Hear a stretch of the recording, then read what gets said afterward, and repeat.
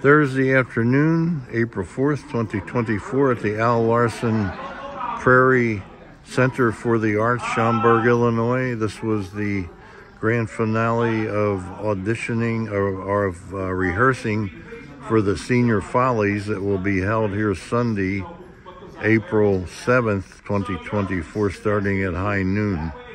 Over and out.